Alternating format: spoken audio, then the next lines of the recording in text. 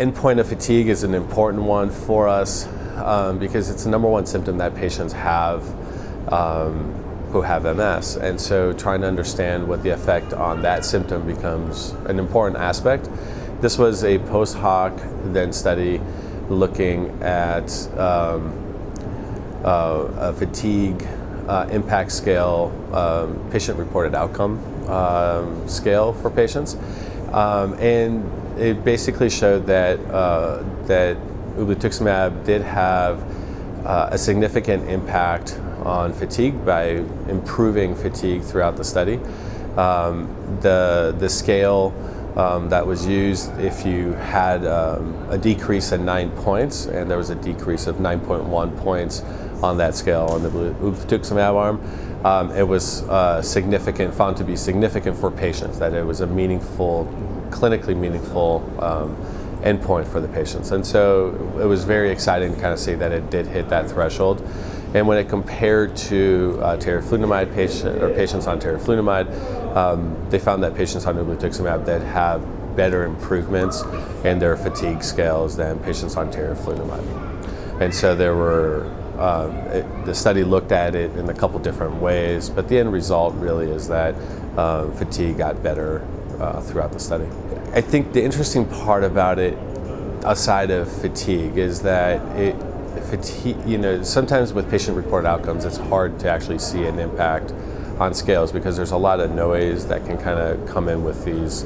Um, uh, with this methodology, right? When you're asking patients like, "Hey, how are you doing?" and things like this, if you catch them on a bad day versus a good day, uh, a day where they had a bad night of sleep, it might give you a lot of noise.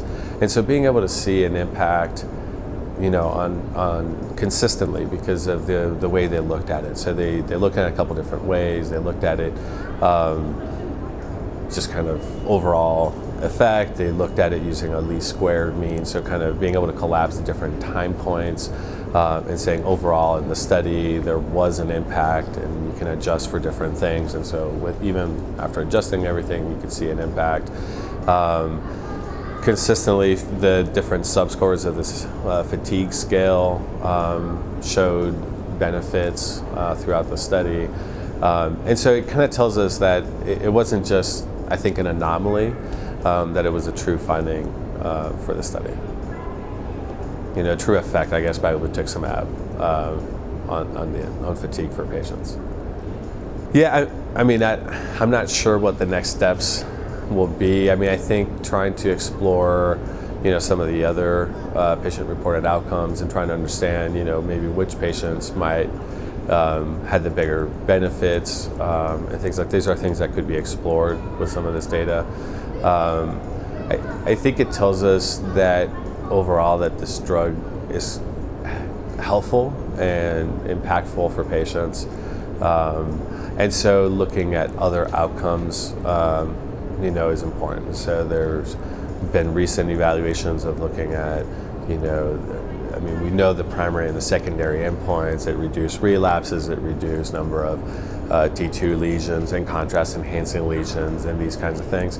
Um, but you know, trying to understand like what the effect is on NEDA, for example, uh, what's the effect on the EDSS and disability progression throughout the study, um, and so that's been looked at. But now being able to maybe correlate, you know, the fatigue on some of these other findings, and being able to tie in fatigue with, hey, these were the patients that were more severe, or they're the ones that had more fatigue. And so it just teaches us a little bit more about MS in a way, um, and, and trying to understand, you know, this very complicated disease.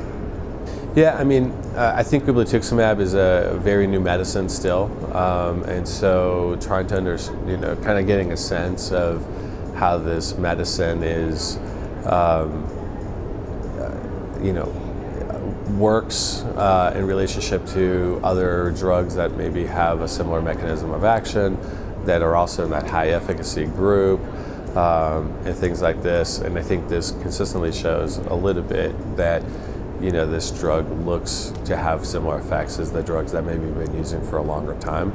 Um, and I think that's important to kind of provide us reassurance of like, hey, this drug is, I think, doing what we think it should be doing um, and working on patients. So I think it's um, it's good to have these kinds of data and kind of saying, you know, the extent of how fast it might help. You know, we were seeing it, um, some of the effects already very early into the study uh, by the first time point where it was looked at at 24 weeks. Um, and so just understanding the disease and the drug better is helpful.